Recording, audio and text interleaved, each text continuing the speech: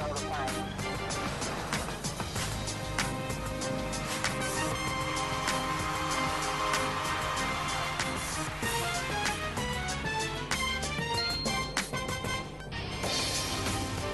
Welcome back to Live at 7. We're taking you inside the story tonight. Jamaica is perceived, wrongly or rightly, to be one of the most homophobic nations on earth. So much so that for years the island has had to take a battering from the gay rights lobby groups, especially those outside of the borders. Now, what does the so what does the 2012 National Homophobia Survey has to say as it checks trends and attitudes and perceptions towards members of the lesbian, gay, bisexual and transgender community? Let's take a look inside the story. Despite a very high percentage of awareness and belief that there is a fair to high prevalence of homosexuality in Jamaica, only 21% agree that the century old Buggery Law should be amended to make some homosexual acts legal. 93% of respondents believed homosexuality is between somewhat and very prevalent in Jamaica. About half of that amount think the behavior is present in all social classes. The rest continue to be of the view that homosexuality is an upper class phenomenon. About half of respondents became aware of homosexuality by age 14, with 38% learning of it from friends and family. Media accounts for 32%. School, church, and on the streets represent 30%. Of note, awareness through the church doubled in 2012 over 2011. The study conducted by the Department of Sociology, Psychology and Social Work at the UWI MONA up to July 2012 is a follow-up to the National Survey of Perceptions and Attitudes towards Sexual Relationships conducted in Jamaica in 2011. Researchers polled the views of 1,000 respondents aged from 18 to 84 from various occupations and socio-economic backgrounds. Most attend church at least two to three times per year. That religious grouping is showing more tolerance toward homosexuals. However, positive attitudes toward homosexuals are likely to be found in less religious persons. As with the previous study, females and more higher educated persons who do not listen mostly to dance hall and reggae music are more tolerant of homosexuals. In the workplace, 54% said they would not hire an openly gay or transgender person. However, 65% said they would not fire an employee simply because of sexual orientation. About 80% of respondents understood the definition of homosexuality to be about the sexual act and not its true meaning, sexual desire directed toward the same sex. Meanwhile, more Jamaicans feel that professional help can change a homosexual's orientation. 53% in 2012, up from 47 the previous year. So, should the Buggery Act of 1864 be amended to protect the rights of gays and lesbians? 78% say no.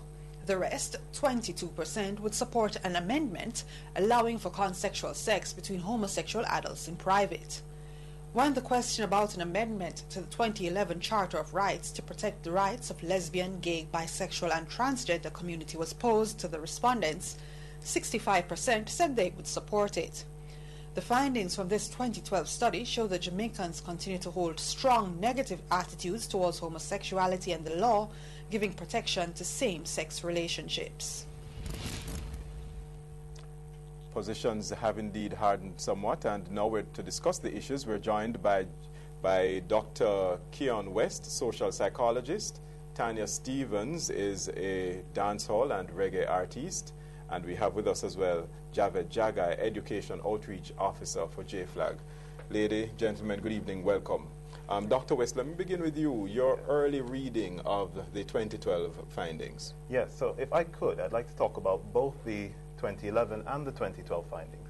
I think it's important research that has to be done because we know anecdotally that Jamaicans don't like gay people, gay men in particular. But it's very important to quantify this research until they show what it is Jamaicans actually think, how they feel about it, and what predicts it. If I could make one really interesting statement in reading it, what I'm surprised at is the incredible lack of relationship between things like religion and attitudes towards gay men. And this is a really important finding. So when I did some research on attitudes towards, for example, contact, what they call interacting with gay men, and attitudes towards them, we found about 53% of the variance could be explained through contact variables in one way or another. In 2012, Meaning what? Break it down for our break it down. So what does that mean? If I could explain about 53%, so let's say that I'm trying to explain someone's height by their weight. You know that generally, or someone's weight by their height. Yes. The taller someone is, the more that they'll weigh. And you can expect this to be a really good relationship. You can expect a lot of the variance in weight to be explained by height. The taller someone is, the more likely it is that they'll weigh quite a lot. Mm-hmm. You expect less of the variance in height to be explained by, let's say, specifically what it is that they're eating. So if they eat a certain kind of food, but they might exercise, they might not exercise, you get less of the variance. People could eat the same thing, but not weigh the same amounts. You get less of the variance explained. Understood. Understood. Extrapolate now for the Great. purposes So- of the study. So what I found in one of my own papers is that when people interact with gay men, and this is particularly in Jamaica, they change their attitudes quite a lot. And that explains about 50 to 60% of the variance. And that's quite mm-hmm. a big deal. In 2012, Professor Boxill found about 7% to be explained by religion. And in 2011, he didn't find a relationship at all. I thought that was very interesting because the rhetoric circles a lot around religion, but we don't need to alienate a lot of people who hold religious beliefs because they're changing their minds one way or another. Javed Jaghai, from where you sit at um, J Flag, how do you read the results? Well, I think um, we are not surprised by the findings, certainly. We understand that Jamaica is a very homophobic society with pervasive negative attitudes towards um, gays and lesbians and bisexuals and transgender people. Um, what I think is encouraging is the fact that there is a recognizable, distinct minority of people who do um, recognize the humanity of um, gays and lesbians and who are willing to stand by that um, in, in a survey like this. So one in five people surveyed said they are tolerant of gays and lesbians and are willing to um, support an amendment to the Buggery Law and the Charter of Rights. Yes. So that's very encouraging. But, but, but Tanya Stephens, from where you sit as a, a dancehall artist, um, the dancehall artists tend to be the vanguards of um, this anti-homosexual rhetoric. Um, this must be good news for the, the industry. Um, well, to begin with, it's a little bit unfair that all of dancehall got labeled um, homophobic because that's not true. But it is good to see that, you know, in some ways we're changing for the better. Um, you know, I don't represent dancehall, by the way, so I'm here just representing Tanya Stephens' views. Okay, all right. But but but but, but the industry um, on a whole would be would be pleased with the result, as I mentioned earlier. But you are saying somehow that that nucleus of individuals who, though in the minority, are in, in support of our tolerance um, or tolerant with Human rights. the behavior on the point of human rights. Yes. Well, I mean, there are exceptions to every rule. Um, even if dancehall has been labeled, there are people who are not homophobic and are not advocating violence against any group. And, and so I am annoyed that we got labeled in the first place. But as I said, according to the research that I just barely glanced at, I, I see that there are some things to feel hopeful about, and I'm happy. All right. We're going to pick up on this very important discussion after this.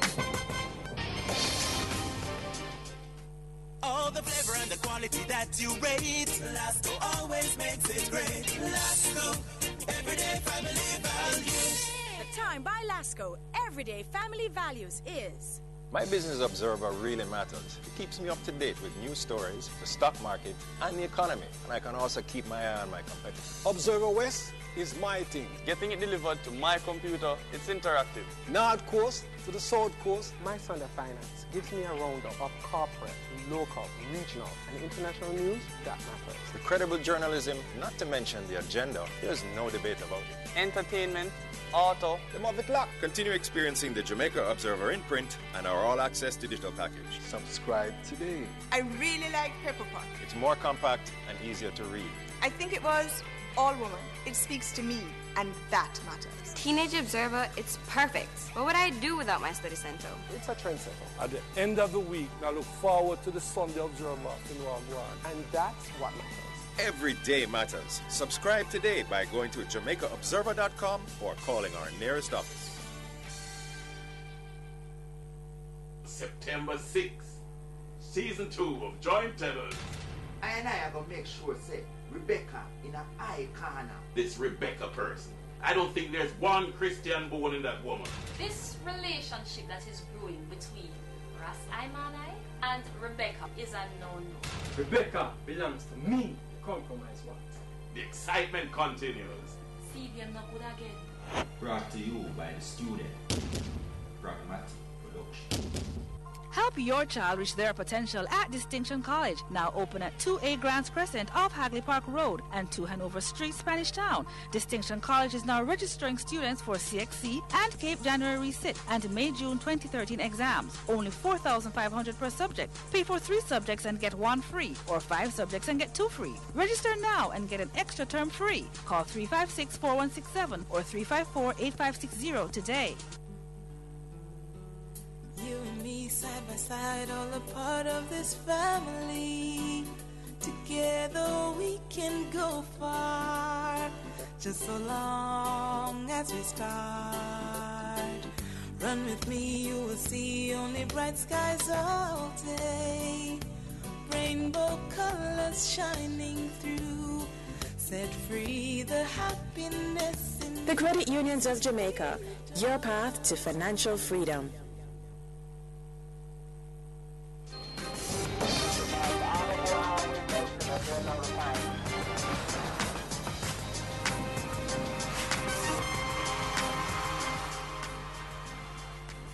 It's high on homophobia. The latest survey confirms that. That's the National Survey of Attitudes and Perceptions of Jamaicans Towards Same-Sex Relationships, conducted by the Ian Boxill team up there at the University of the West Indies, Mona. It's out, and we're discussing it this evening on Live at 7. Generally unchanged over 2012. So over to you then, Javed Jaghai. If um, things have not moved much, um, what is that saying then about the advocacy of groups like J-Flag and even external groups that would um, advocate and also assist the cause for J-Flag here?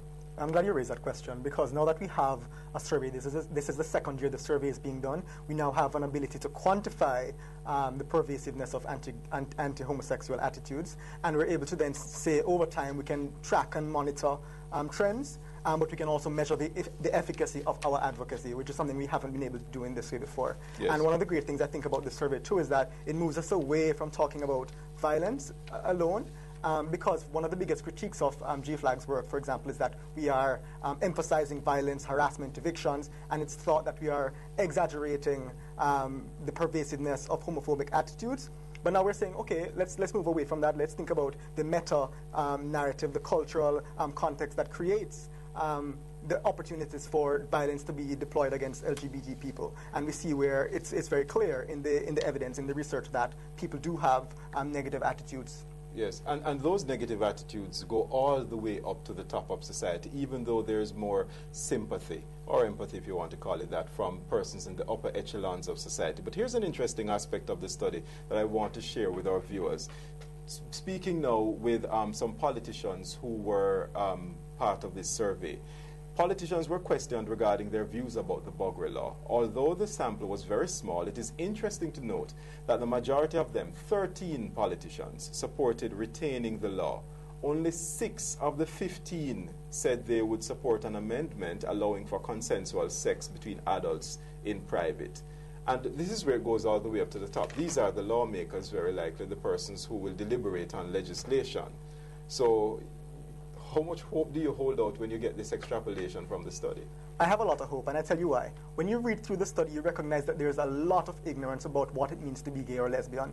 You have people who believe that it's a matter of sexual relations, so they don't recognize that if you're celibate, you're still gay. If you're, if you're celibate heterosexual, you're heterosexual. If you're celibate homosexual, you're heterosexual. That's not the way it works. So there's that misunderstanding. There's also the misunderstanding um, that homosexual orientation can be changed, and over 50% of respondents said, yes, with professional help, you can change, when in fact that notion flies in the face of research.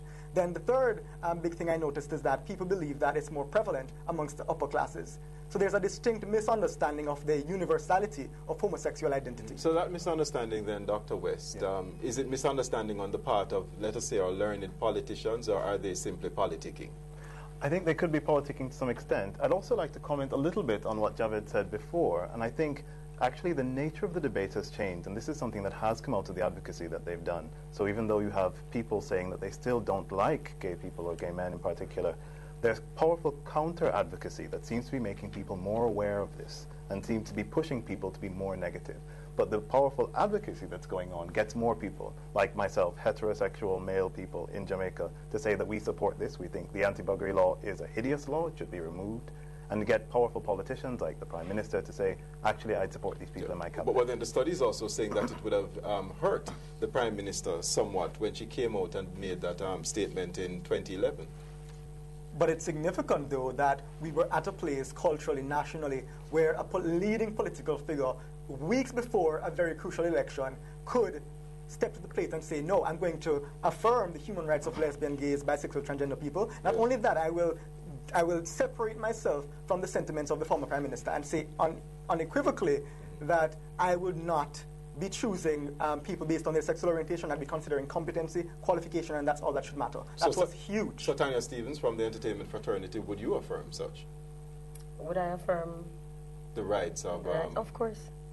I, I believe everybody has the same basic human rights. I don't believe someone's preference, whether it be um, in tandem with mine or opposing mine, should make a difference to what rights we are allowed or what rights we are due.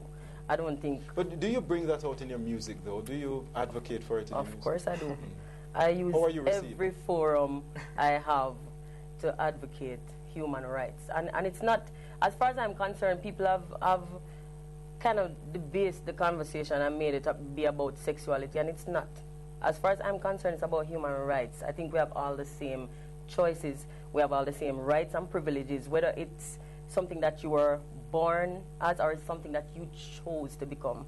You know, it really doesn't matter as far as I'm concerned. We have the right to the same choice, even if we don't arrive at the same, making the same choices. Mm-hmm. You know, that's what it is for me, and I use every every chance I get to talk about. Listen to that. this aspect of the, the study. It says, similar to the previous study, that's 2011, females, higher educated persons, and those who do not listen mostly to reggae and dancehall music are likely to have less negative attitudes towards homosexuals. How do you see it? Well, I haven't really stopped to think about that. I mean, that's um, I can understand females would be more empathetic because we we tend to be more maternal. We we tend to be more understanding of other people's feelings, generally speaking, and that's been my experience. And and I think we're a little bit less nosy when it comes to the personal activities of others, except those that we're in direct conflict with. Females? of course, I know, I know, I know. But, but then um, some other de- determinants um, coming out of this study, to include um, one on education. Uh, the results also show that a statistically significant relationship between education level and attitudes to same-sex relationships. It would appear that more educated persons possess positive attitudes towards same-sex relationships. Why? That is a normal finding. You find that everywhere. So in every country that you do this study, the more educated people are, the nicer they are towards gay people. But similarly, the nicer they are towards black people, the nicer they are towards people from different countries or immigrants. It seems that education just has the effect of making people be a bit more decent towards other. tolerant where minorities are concerned. And the church now, to um, talk about the frequency of church attendance. Let me put this to you, Javed Jaghai. A statistically significant relationship was also found between the frequency of participation in religious activities and attitudes towards same-sex relationships. Those who attend these activities are less likely, oh, sorry, let me say that again. Those who attend these activities less are more likely to have positive feelings such as acceptance and appreciation, but equally, they are also more likely to feel repulsion towards persons in same sex relationships. A bit of a dichotomy there. Right. I mean, that's not surprising. I think we know for a fact that many people use a centuries old book um, to dictate um, sexual morality in the 21st century. You're talking about the Bible? Yes. And it's absolutely ridiculous. There are other books as well. Yes, but in Jamaica, that's the one where That's the people, people really like. clutch to. And it's unfortunate because it's, it's, you here's someone in front of you saying, look, this is who I am, this is what I feel, please respect me. And you're saying, oh, but my God in the sky says that I should reject you, even though my humanity and my capacity for empathy is saying I should embrace who you are. And it's unfortunate that we, we, we must um, hold on to this, this book and allow it to cloud our judgment when it comes to how to respond to individuals who are our friends, who are, who are our family members, our co-workers. And I, I find it's very unfortunate. Where is the leadership going to come from, Dr. West? Where is the leadership on uh, on the issues that um, Javed Jaghai, Tanya Stephens um, are advocating for? That this respect for human rights, taking it from the, the human rights perspective, and not so much about the sexual choice perspective. Where is the leadership going to come from in this country? I think some of that leadership is already there, and that there are people who are really working hard to make this better. But I think an important aspect of it is that more people who are not gay in Jamaica are going to have to get out and say, we support these people. We think that they should be treated better, and we think their rights are very important. And I think it's important to do that on both fronts, because it's, un- it's understandable that they will fight for themselves. But when we make it normal that we are also fighting for them, we change the dynamic of the society. These people you do recognize do though, that more people us. coming out, heterosexual persons coming out, just to say respect the rights of gay persons, put them at a kind of a social risk. Yes. So too would it put you, Tanya Stephens, as a, at a professional risk. I would say you'd probably get less shows. Actually, no. It's it hasn't affected me at all. I've been I've been speaking my mind where the topic is concerned for years. I was warned that, uh, especially when I did one particular song, "Do You Still Care," I was warned that I'd have to pack up and move from Jamaica, and and I think it's unfair that the very the very social group, who them call thugs, that everybody was saying would make me have to run from Jamaica, were the majority of the people who came to me and say, you know, honestly, I never thought of it like that until I heard you say that. All right. So, you, we have been misjudging you more encourage than one dialogue group. and discussion. Yes. Part of what we're having here this evening. Thank you so much for coming in, and we'll continue to look at the survey as is necessary. Time now.